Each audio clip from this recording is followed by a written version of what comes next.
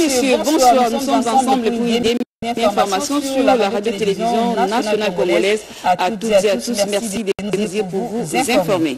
Le chef de l'État, Félix Antoine Tshisekedi Chilombo, a eu des entretiens avec les ambassadeurs de la Belgique, des États-Unis d'Amérique et de la France sur la situation sécuritaire dans l'Est de la République démocratique du Congo, ainsi que les questions liées à la coopération bilatérale entre ces pays et la RDC étaient au centre de cette rencontre. Pierre Kibambe, Soumoye Sapou, le commentaire. Un balai diplomatique ce jeudi 25 avril à la Cité de l'Union africaine. où le président de la République Félix Antoine Tshisekedi Chilombo a eu des entretiens. tour à tour avec des ambassadeurs de Belgique, des États-Unis d'Amérique et de France. De la coopération militaire bilatérale entre la RDC au cours des échanges du chef de l'État avec Madame l'ambassadrice Roxane de Bilderling qui a aussi fait le point de ses récentes missions qu'elle a menées au Nord Kivu et à Nituri. Nous avons parlé de façon générale de nos relations bilatérales, de la coopération qui est en cours et en particulier de la coopération militaire bilatérale qui est très importante comme vous le savez. Le ministre de la Défense s'est rendu il y a quelques jours à Kindu où la Belgique est en train de former une brigade de réaction rapide, la 31e brigade de réaction rapide. Et donc là, il y a une partie de la formation qui se terminait pour un bataillon. Et donc le ministre de la Défense s'est rendu sur place. Nous avons aussi échangé sur les perspectives de poursuivre cette coopération La situation sécuritaire et humanitaire préoccupante dans l'Est de la RDC était aussi au menu de l'entretien que le président de la République a eu avec l'ambassadrice des États-Unis d'Amérique à RDC, Lucie les États-Unis sont dans le premier plan des pays qui a répondu à la situation humanitaire avec l'assistance pour la population affectée. Et nous avons aussi été le tout premier pays de dénoncer l'agression rwandaise. On va continuer dans ce sens et nous essayons de vraiment trouver une solution pacifique. Avec l'ambassadeur de France, Bruno Robert, il a été évoqué notamment la prochaine visite du président de la République, Félix Antoine Tshisekedi Chilombo, à Paris. On parle inévitablement de la position, de, de la situation à l'est du pays. Vous connaissez notre position. On a vu plusieurs expressions publiques au Conseil de sécurité des Nations Unies, par la voix de nos autorités politiques ici à Paris. Donc la situation qui est très grave à l'est, très grave pour la population congolaise, sera au cœur des entretiens entre le président Tshisekedi et le président Macron. Donc nous avons bien évidemment évoqué ces sujets. Les trois diplomates ont exprimé la volonté de leurs pays respectifs de soutenir la RDC face à la situation sécuritaire et humanitaire dans l'est du pays et de concourir à une solution pacifique dans cette partie du territoire national.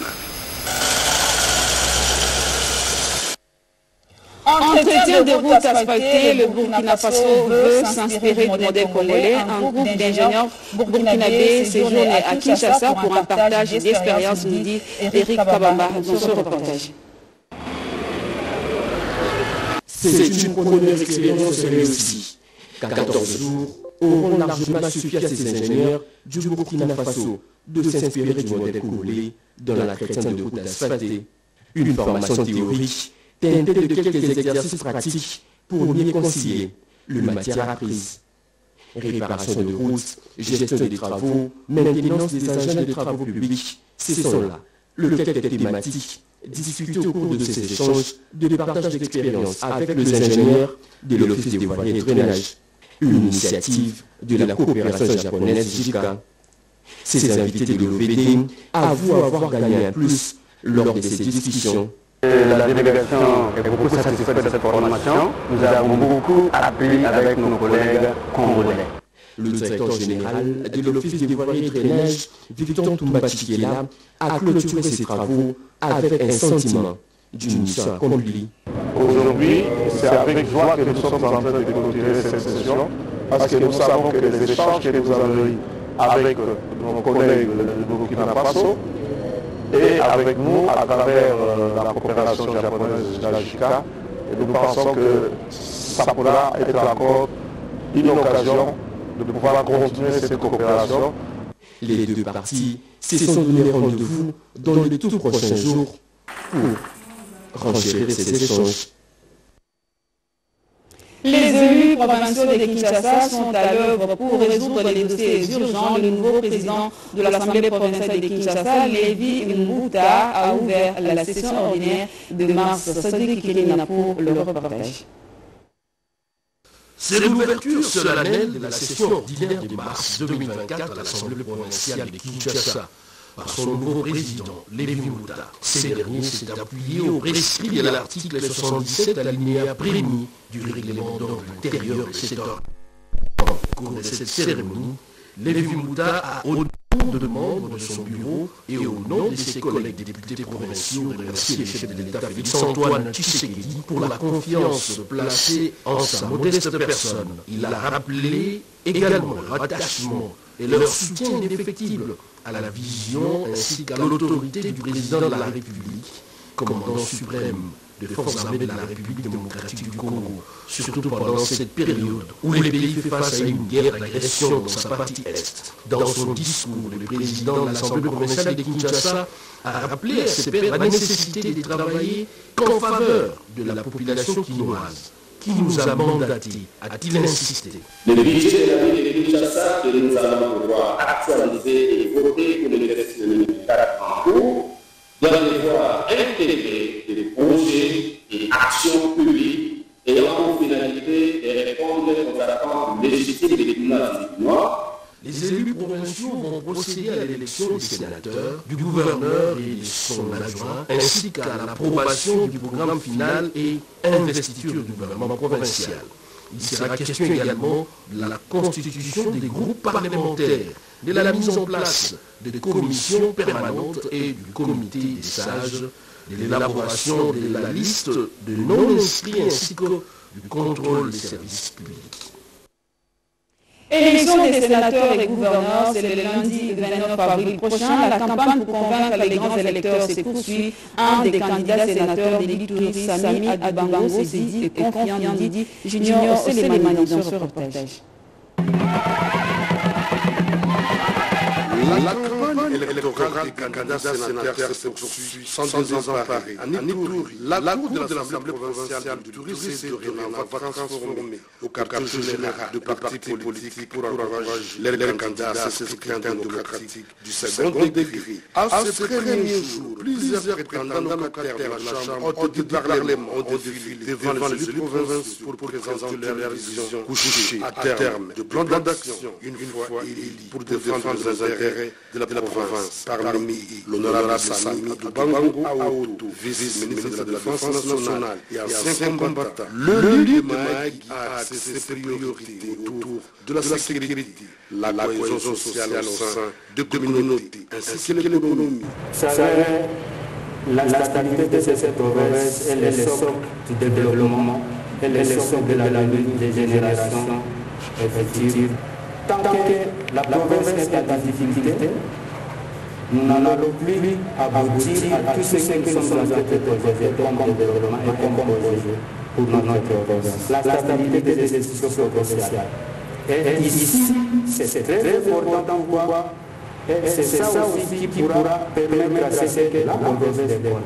Troisième point, ça sera la dignité de nos provinciaux. Dans le de la dignité des députés, on se battre et de faire des fonctionnements. La, la dignité liée à notre nécessaire auprès du gouvernement central, et là, nous allons voir la province dévoiler sans aucun problème. 51 candidats sont en liste pour les à ici à province de l'Ituri. 150 policiers des proximités de la province de l'Équateur ont été formés à la mission catholique Motema Moko c'est à quelques kilomètres de la ville de Mbandaka. C'est le commissaire divisionnaire principal, le général Alongaboni, qui a présidé la cérémonie de clôture de cette formation.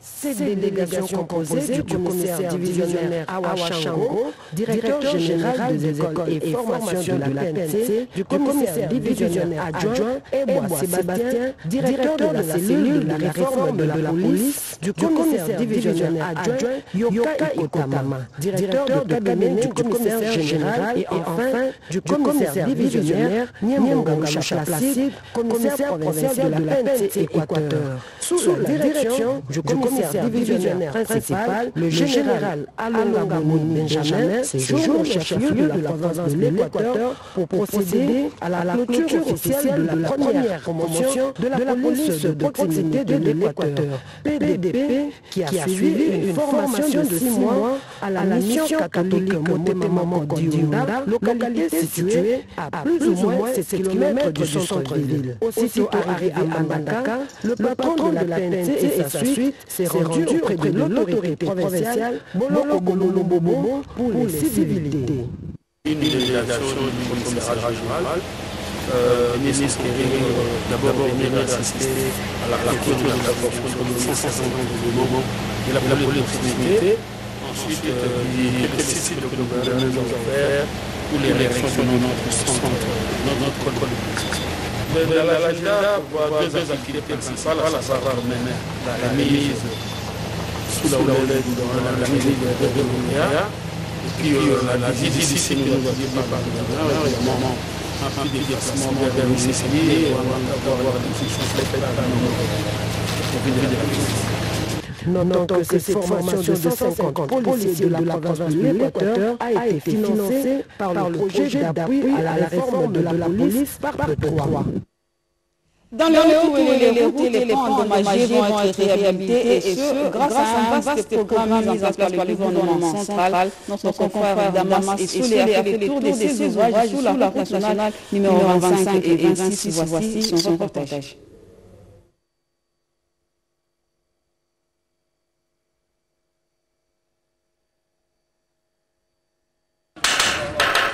C'est mobilisation générale que le gouvernement national provincial amorce dans le Haut-Tuélé pour solder la problématique de la vétusté des et de l'époque coloniale, c'est actuellement l'un après l'autre suite à la forte sollicitation du réseau routier de la province. Ici, sur le pont Zoro, situé à une vingtaine de kilomètres de la cité minière d'Ouba, ce sont des techniciens de l'office route de la région provinciale des travaux publics ainsi que du bureau technique d'un contrôle qui sont mis à contribution par le gouvernement Christophe ces ouvrages qui également d'écroulement. Il reste que les membres du renforcement, puis des péturages. À une vingtaine de kilomètres de là, toujours sous la rue 26, c'est le où les équipes se mobilisent pour la construction d'un ouvrage qui a cédé depuis quelques mois. C'est un projet qui consiste à remplacer tous les anciens ponts. La durée de travaux est de trois mois pour chaque pont. Ici, sur le Mukanti, qui se situe à plus de 200 km de la ville d'ici, toujours sur la N26, c'est la même détermination. La population, des fois, il y a d'autres qui ne savent pas comment s'y prendre. C'est l'autorité provinciale qui doit vraiment s'imposer par rapport au dommage. Grâce à la vision du chef de l'État, Félix Antoine Tshisekedi matérialisé de tout par sa discipline Christophe Bassiananga, d'ici peu, les travaux de construction du pont Vava, à 15 km d'ici, sur la R25, font également démarrer pour le grand bonheur de la population. Les zones de santé des Simbi et Ragon sont dans le Nord Kivu ont été dotées des ambulances médicalisées. C'est une dotation du gouvernement provincial. Les zones de santé de Karesimbi et Niragongo viennent de recevoir chacune une ambulance médicalisée dans le cadre du projet Paris pour le renforcement du système de santé financé par l'Agence française de développement. La remise officielle a été faite le vendredi 26 avril 2024 par ULB Coopération. C'est M. Jérôme Fazili, responsable administratif et financier du projet Paris, qui a remis les clés de contact de ces deux ambulances à l'autorité provinciale représentée par Mme Priska Luanda Kamala, conseillère principale en charge de la santé du gouverneur de province. Celle-ci les a confiés au chef de division provinciale de la santé du Nord Kivu, qui à son tour les a remises au médecin chef de ces zones de santé qui se sont engagés pour une bonne gestion. Nous et nous espérons que les de famille comme pour remettre euh, ces clés au chef de division de la santé qui pourra à son tour euh, les remettre aux zones de santé ici présentes. nos remerciements de l'autorité provinciale, le général-major Tchéma. Nous allons faire le suivi de l'utilisation de ces engins pour que ça soit bien utilisé, beaucoup plus desservir les destinataires. Nous promettons que nous allons étroitement avec les états cadres des zones de santé assurer un suivi de proximité pour que les utilisateurs puissent gérer de manière la plus professionnelle. Merci beaucoup.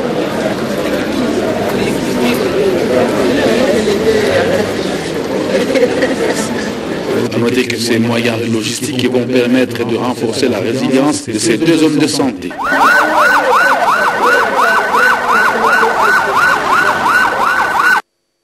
Et toujours à Goma, l'école primaire Patemo située au quartier Lac Vert va bientôt porter sa robe, sa nouvelle robe. Les travaux de construction ont été lancés par la conseillère du gouverneur militaire en charge de l'éducation. Reportage. Située au quartier Lac Vert, en commune de Goma, l'école primaire Patemo va porter sa nouvelle robe avec les travaux de construction lancés ce jeudi 25 avril 2024 par la conseillère principale du gouverneur militaire en charge de l'éducation Prisca Luanda Kamala. Il est sollicité pour l'appropriation de ces travaux qui débutent aujourd'hui afin que ces processus d'exécution aboutissent en bon ordre et que les succès soient partagés mon souhait est que cet élan soit pérennisé pour que nous continuions à inaugurer des travaux de modernisation de notre province année par année, concrètement démarrés. Et que là où le monde ne voit que la guerre, jaillisse la lumière du développement humain. Ces travaux de construction concernent six salles de classe, un bureau administratif et un bloc sanitaire. S'inscrit dans le cadre du projet de stabilisation de l'Est de la RDC pour la paix, STEP 2, financé par le gouvernement congolais et la Banque mondiale, selon le représentant de la cellule de suivi des projets et programmes étant la structure d'exécution. Ce projet est composé de cinq composants, à savoir composante 1 la construction et réhabilitation des infrastructures communautaires dans les secteurs suivants. Éducation, santé, eau et assainissement. Actuellement, nous avons 119 infrastructures de base dans les noms qui voudront certains qui étaient déjà achevés. Signalons que la cérémonie a marqué le lancement symbolique de construction de 26 écoles, 13 centres de santé et deux forages au Nord Kivu. Quel profil pour diriger la Chopo Eh bien, les concertations sont organisées avec différentes couches de la population pour déterminer justement les critères d'un bon gouverneur. Dans la série de consultations entamées par le président de l'organe délibérant, l'on note la présence de groupes de pression qui ont émis le feu de voir un changement à la tête de l'exécutif provincial. Cette fois-ci, nous aurons les gouverneurs qui seront élus, ce sera vraiment les choix qui vont sortir de la population et nos députés provinciaux. Même aussi pour les sénateurs, vraiment, il sera vraiment les sénateurs choisis par la population et par les députés provinciaux. Nous voulons un manager dans le climat des affaires, un homme ou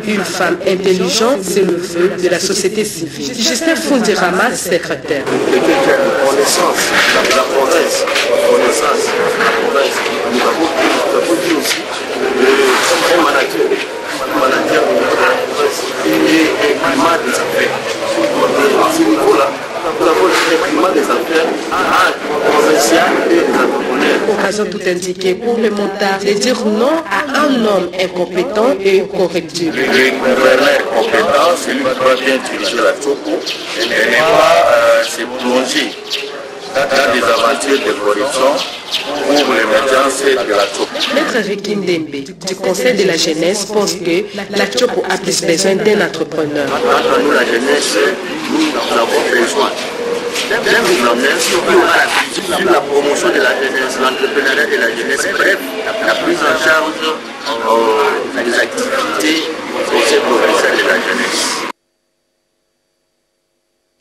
Des, avancées significatives dans la gratuité de la maternité sont enregistrées. Et bien, la conclusion est celle des travaux de la revue semestrielle organisée par le Fonds de solidarité de santé. Edith Chala nous en parle dans ce reportage. Plus de 100 000 accouchements pris en charge par le gouvernement de la République dans le cadre du programme de la gratuité de la maternité et des soins de nouveau-nés, 12 prestations offertes dans ce même cadre sans être exhaustif. Au terme des trois jours des travaux de cette revue semestrielle, les résultats sont encourageants. Le groupe interbailleur s'est joint aux échanges à ce troisième jour pour marquer toute sa disponibilité à accompagner la couverture santé universelle. Le docteur Anatole Mangala, directeur général du Fonds de solidarité de santé FSS en sigle, a salué l'abnégation des participants et rappelé le bénéfice d'avoir le président de la République, Félix Antoine Tshisekedi, très impliqué dans ces questions. Nous, en RDC, nous avons une grande opportunité. Dans les autres pays, c'est en tout cas le monde associatif et les, différents ministères qui font les plaidoyers politiques pour que les autorités puissent mettre la main sur la pâte. Mais ici, au Congo, c'est les chefs de l'État qui poussent. Je pense qu'il ne passe pas une semaine sans qu'ils posent des questions sur les avancées de, la couverture santé universelle. C'est vraiment c'est au cœur de, ces préoccupations. Et pour nous, c'est une grande opportunité, on ne l'a pas deux fois. La transparence doit être bénise dans les hôpitaux, dans la gestion de la gratuité. Les fonds irrélatifs doivent être comptabilisés comme les recettes et dans les pharmacies. Les médicaments ne sont pas des stocks différents, mais plutôt un seul stock diversement fourni, a insisté le docteur Anatole Mangala. Le monde entier a célébré hier 25 avril la journée internationale de lutte contre le paludisme. Ici à Kinshasa, une journée scientifique a été organisée au centre hospitalier d'Ingiri pour parler de la prévention de cette maladie très mortelle. Serge Mouata nous en parle dans ce commentaire. Organisé autour du thème l'équité en matière de santé, l'égalité des sexes et les droits de l'homme, ces assises ont eu pour objectif d'offrir un cadre d'échange aux différents acteurs œuvrant dans la recherche sur le paludisme en vue de partager et valoriser la recherche et les multiples connaissances dans les domaines. Dans son allocution, le médecin chef des zones du centre hospitalier d'État de Guiringiri a salué l'engagement du gouvernement de la République dans la lutte contre le paludisme en RDC. Il s'est dit en outre honoré par l'organisation de cette matinée d'échange. Les participants ont pu suivre une série d'exposés, notamment celui présenté par le coordonnateur principal du programme national de lutte contre le paludisme, Dr Amanu Rigen. Ce dernier a présenté avec chiffres à l'appui le nombre total des cas du dans le monde et l'évolution des indicateurs du en République démocratique du Congo. Déjà pour l'année passée, on était autour de 27 millions 600 de cas, avec euh, pratiquement 22 224 blessés, c'est beaucoup. Pour la ville-province de Kinshasa seulement, déjà, on était autour des 2 187 000 cas de paludisme, 722 000 femmes enceintes fichées, 443 468 enfants de moins de 5 ans. Les représentants du chef des divisions provinciales de la santé de Kinshasa, Neda Tabadou Kuida, a quant à lui les moyens et les stratégies cette maladie dévastatrice des travaux anti-érosifs vont débuter bientôt dans la commune de Kisenso. Une réunion préparatoire a mis autour d'une table le porteur du projet et les autorités municipales. Yvette Makontima pour le reportage.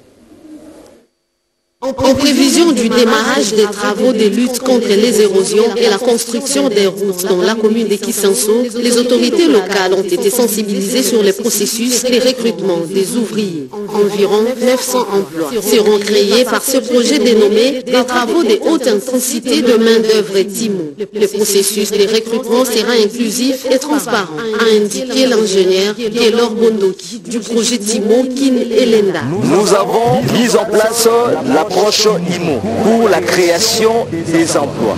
Et le recrutement va se passer en trois étapes.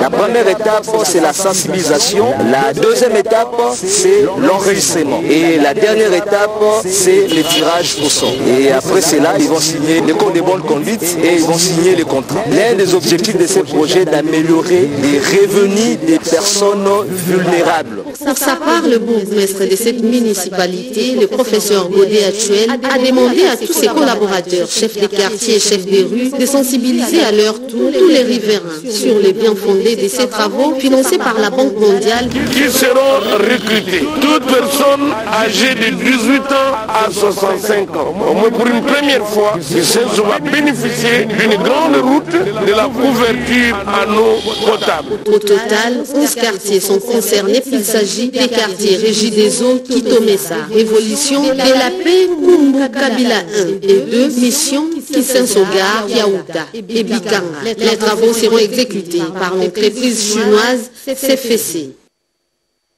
L'inclusion financière, on en parle dans ce journal avec les réalisations d'Advance Bank SA qui appuie les micro-entrepreneurs congolais à avoir un accès au financement. Cette institution financière a présenté ses états financiers et l'avantage de sa transformation au cours d'une conférence de presse. Malumbela était là pour le compte de la.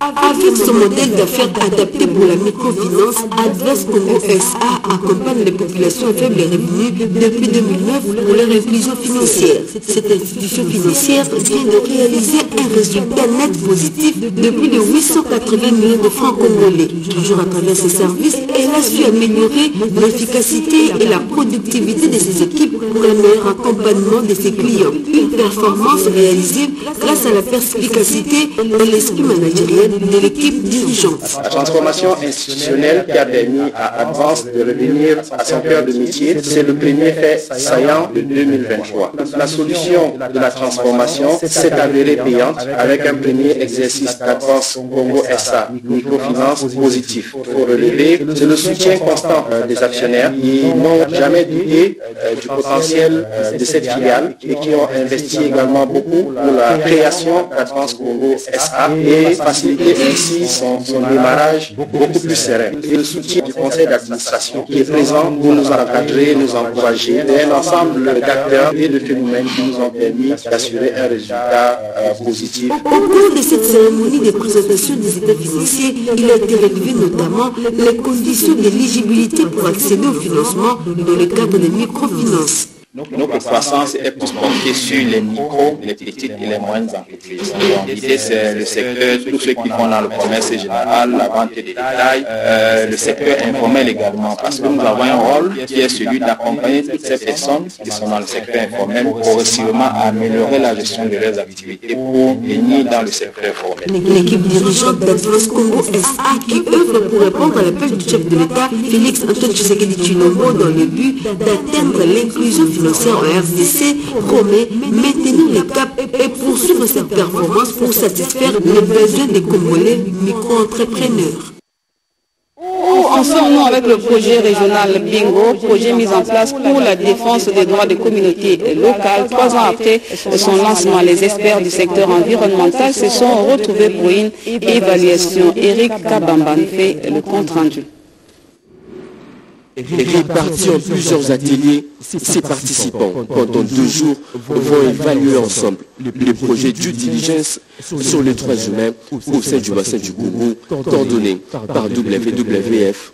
Ces projets, lancés il y a trois ans, visent à mettre en place dans la pratique les conditions qui peuvent assurer le respect des droits des communautés locales et des peuples autochtones vivant dans et autour des aires protégées. Le directeur bassin du Congo parlait d'un bilan élogieux de ces vastes programmes environnementaux trois ans après son lancement. Aujourd'hui, nous nous retrouvons ici dans cette salle pour discuter du travail que nous avons fait dans le cadre de ce projet Bingo, qui était spécifiquement mis en place avec un financement de l'Allemagne et qui nous a aidé de mettre en place ce mécanisme de plainte les communautés autochtones et locales mettent beaucoup d'espoir sur ces projets, a fait entendre le directeur national de VVF. Nous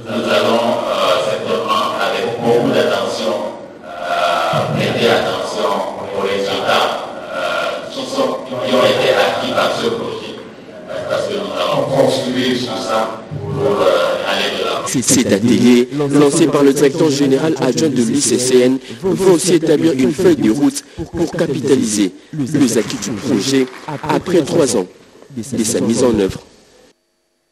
Lutte contre le blanchiment des capitaux et la corruption, les agents des structures en charge de cette matière renforcent leur capacité. Ils ont pendant plusieurs jours débattu des innovations contenues dans la nouvelle loi portant sur la lutte contre la corruption et le blanchiment des capitaux. Une fois de plus, Eric Kabamba. Des millions de dollars se volatilisent chaque année de la caisse de l'État.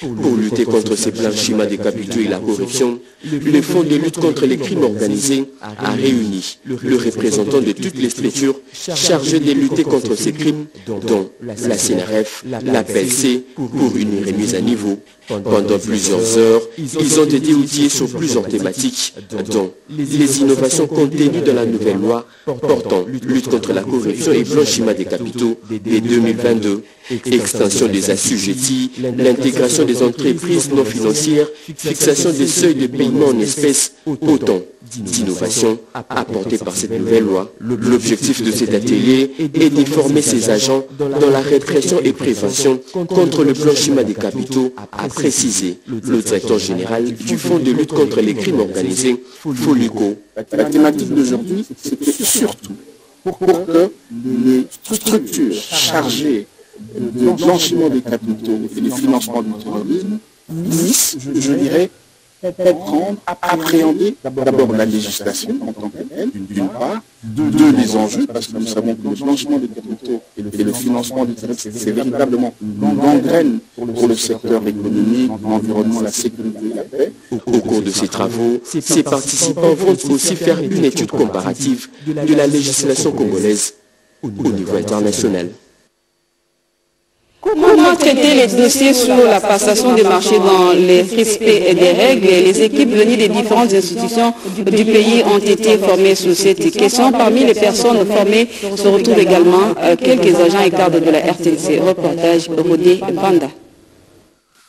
En dix jours, l'autorité de régulation des marchés publics, RLP, a organisé un séminaire essentiellement basé sur la procédure de passation des marchés. Différentes institutions ont envoyé des équipes de participants, entre autres, la présidence de la République, Mature et les entreprises et établissements publics.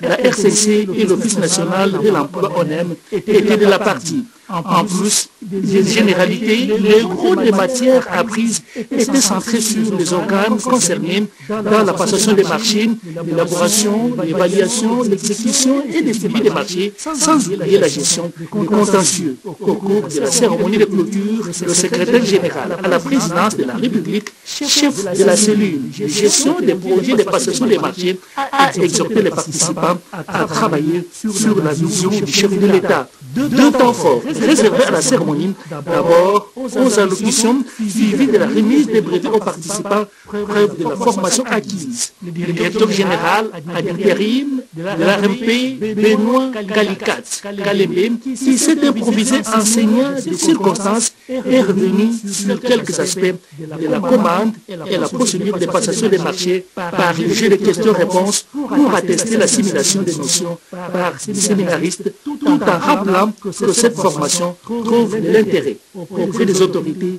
et des participants eux-mêmes, ce avant de marteler sur la synthèse des notions capitales, motivation et recommandation. S'outiller effectivement de toutes ces procédures pour accomplir la bonne gouvernance à travers la transparence, l'équité et surtout, surtout, moi j'ai ajouté quelque chose qui est de plus important. Nous voulons créer une pépinière d'intégrité dans le système de passation de marché.